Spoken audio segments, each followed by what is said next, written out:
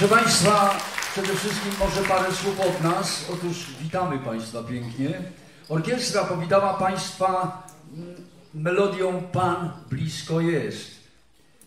Parę słów 27, 27 lipca 2005 roku w hołdzie największemu autorytetowi XX wieku, człowiekowi, który sięgając do źródeł chrześcijaństwa, uczył nas solidarności, odwagi i pokory.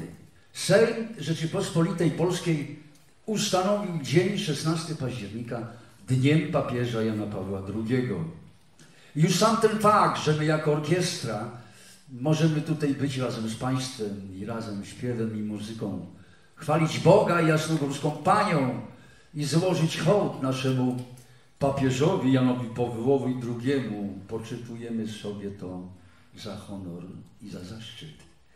A spotykamy się właśnie przy szczególnej okazji, bo przeżywamy po raz 23 Dzień Papieski, który będzie obchodzony w Polsce i w środowiskach polonijnych na całym świecie 15 października 2023 roku.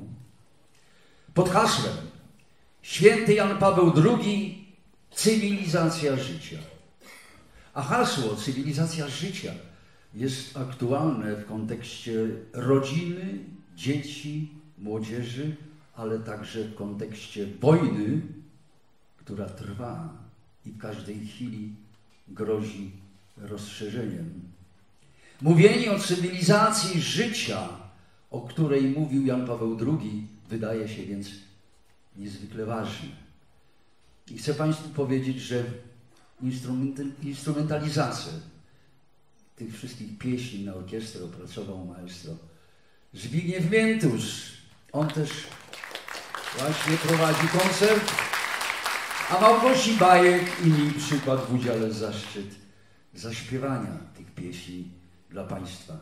Ale mamy nadzieję, że Państwo również te pieśni będą z nami razem nucić. Zapraszamy do wspólnego śpiewu. Teraz